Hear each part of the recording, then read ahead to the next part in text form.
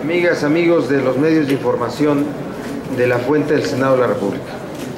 Eh, queremos anunciar la presentación en esta sesión del paquete de iniciativas que sobre leyes secundarias en materia político-electoral eh, el grupo parlamentario del PRD, que en coordinación con el grupo parlamentario del PRD en la Cámara de Diputados y la, Dirección Nacional de nuestro partido construyeron. Se trata de cuatro iniciativas, la Ley General de Instituciones y Procedimientos Electorales, que incluye la organización y funcionamiento de los organismos electorales nacionales y locales y las normas para las candidaturas independientes. Dos, de la Ley General de Partidos Políticos, de la Ley General de Delitos Electorales y de la Ley de Propaganda Gubernamental. Nuestro coordinador del área política, el senador Alejandro Encinas, va a hacer la explicación del tema, al igual que la senadora Dolores Padierna, del senador Luis Sánchez y del senador Zoe Robledo. Adelante, Alejandro. Bien, muchas gracias. Pues como ha señalado nuestro coordinador, el senador Barbosa, el día de hoy y de manera simultánea en la Cámara de Diputados y en el Senado de la República, los grupos parlamentarios del Partido de la Revolución Democrática presentaremos nuestra propuesta del conjunto de reformas que en materia de leyes reglamentarias se derivan de la reforma constitucional que el año pasado aprobamos en materia político-electoral. Se busca con estas iniciativas fortalecer los criterios que permitan garantizar la imparcialidad de las autoridades electorales, la equidad en la contienda electoral y el desarrollo en general de una vida institucional en el país que nos permita cerrar el ciclo de las recurrentes reformas político-electorales que después de cada elección presidencial nos vemos obligados a modificar porque lamentablemente la legislación y el desarrollo institucional de las propias autoridades electorales no han garantizado plenamente hasta ahora el pleno cumplimiento de la ley y la equidad en la contienda. Como se ha señalado bien, eh, son cuatro grandes temas en donde se presentarán las reformas. Primero, una ley general electoral para la equidad en la contienda política y la imparcialidad de las autoridades electorales, donde proponemos la creación de un sistema nacional electoral integrado por el Instituto Nacional Electoral y los órganos públicos locales electorales. Como ustedes saben, una de las modificaciones centrales en materia constitucional fue el que ahora los órganos electorales en los estados serán nombrados por la autoridad autónoma nacional. Y esto va a implicar, respetando las bases fundamentales del federalismo y la autonomía de los estados, establecer sistemas de coordinación plenamente claros e identificables para evitar pues no solamente que se invada la competencia de la autoridad y de los gobiernos locales, sino para garantizar plenamente el desarrollo autónomo, libre y transparente de los procesos electorales tanto en el ámbito federal como en las elecciones locales. Esto implicará en esta ley general establecer mecanismos de fiscalización oportuna, definir coaliciones electorales y candidaturas comunes, que hasta ahora existe una enorme diversidad en cada uno de las legislaciones de los estados, definir los tiempos y duración de las campañas y de las precampañas para evitar que se acoten los derechos de los candidatos, el desarrollo pleno de sus actividades proselitistas, la definición de candidaturas independientes y con la nueva atribución del Instituto Nacional Electoral para hacer la distritación de los estados, hacer una modificación conceptual para que la distritación no sea a partir del número de habitantes de la población de cada entidad, sino a partir de un principio de igualdad del voto y esto tiene que ver como criterio fundamental que se haga a partir de la lista nominal de electores. Incluimos en este tema por supuesto, una de las demandas fundamentales de los mexicanos residentes en el exterior para que se pueda establecer un mecanismo de credencialización permanente en las embajadas y en los consulados y se pueda elaborar una lista nominal de electores para que los mexicanos en el exterior puedan votar tanto por el presidente de la República como por los gobernadores, el jefe de gobierno del Distrito Federal y las elecciones locales en el caso que competan a las entidades de las que son originarios. Se establece también eh, un conjunto de, nuevas disposiciones en la ley de partidos y agrupaciones políticas para que las, se respeten los principios constitucionales básicos de la libertad de asociación política de los mexicanos, la afiliación voluntaria y los principios democráticos que deben ejercer, regir los derechos de los militantes dentro de los partidos políticos. Por supuesto, se incluye la paridad entre los géneros y la inclusión social, el fortalecimiento de la democracia interna, nuevas normas en materia de transparencia y rendición de cuentas, más aún después de la reforma constitucional que estamos en estos momentos elaborando su ley reglamentaria que convierta a los partidos políticos en sujetos obligados para dar toda la información en materia de eh, no solamente el ejercicio de sus recursos públicos, privados y aportaciones de los militantes, sino de todos los asuntos internos, en tanto los partidos políticos son instituciones de interés público. Hay una tercera propuesta, la Ley General de Propaganda Gubernamental, que busca plantear con condiciones claras los temas de austeridad y equidad estableciendo como principios de la propaganda gubernamental la garantía de los derechos y las libertades, salvaguardando y fomentando el derecho a la información, así como el ejercicio de las libertades de expresión y opinión bajo criterios de equidad y respeto a la pluralidad que existe en nuestro país, eliminando cualquier tipo de censura a partir de los principios de imparcialidad y neutralidad. Eh, voy un poquito más rápido para que ahorita vamos a presentar ante el Pleno.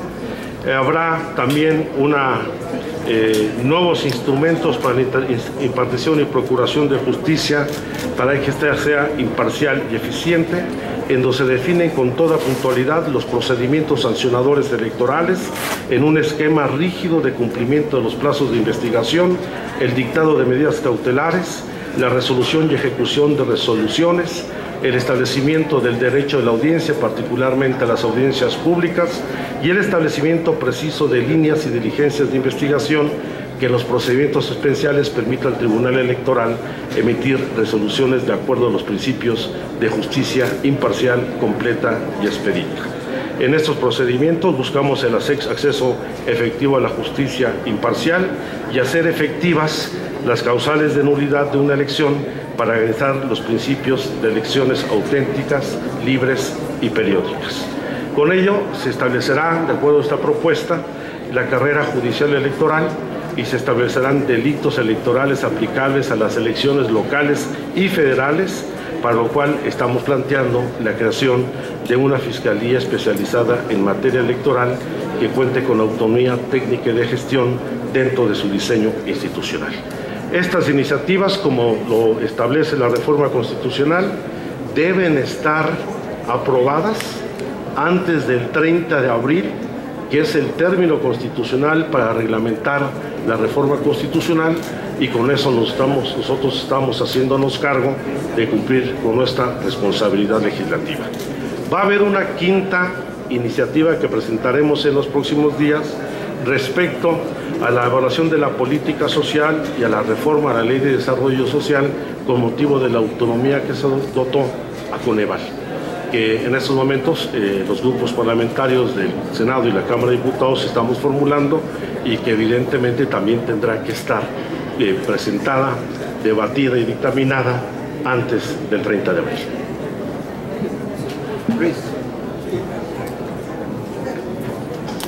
Bueno, esta propuesta tiene elementos novedosos, muy diversos, es muy amplia, es muy difícil de dar a conocer todo en una conferencia de prensa, pero solo voy a resaltar algunos aspectos que contiene nuestra iniciativa de Ley General de Propaganda Gubernamental, porque es un tema incluso que se ha tocado en los últimos tiempos.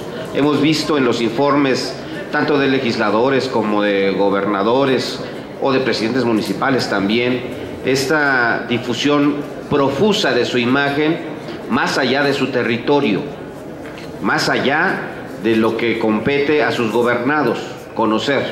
Por eso esta iniciativa en este sentido tiene eh, esta novedad. No se podrán hacer los informes de gobierno, de gestión o legislativos, pero no se va a poder difundir la imagen de la persona, del gobernante. No podrán contratar tiempos eh, o propaganda para difundir su imagen y solo podrán hacerla en aquellos territorios que competen a su gestión. Esto es, ningún gobernador podrá promocionarse en el Distrito Federal, como sucede en estos casos eh, muy recientes. Nadie podrá ir más allá de su demarcación. Es uno de los elementos que me gustaría resaltar. Y también en cuanto a las reglas para eh, el otorgamiento de la publicidad a los medios de comunicación. Tres elementos básicos. En ningún medio de comunicación podrá recibir más del 20% de la inversión anual en comunicación gubernamental. O sea, nadie, ningún medio podrá recibir más del 20% del presupuesto que tenga alguna entidad gubernamental para este rubro. Tampoco, eh, esto está establecido también, ningún medio de comunicación podrá ser adjuditario de un porcentaje mayor al 40% de la totalidad de la pauta oficial prevista para una campaña. Una limitación también para permitir pues, la participación del mayor número de medios de comunicación en la propaganda gubernamental. Y por último, ningún medio de comunicación podrá ser adjudicatario del 30% del presupuesto destinado a una clase de medios de comunicación.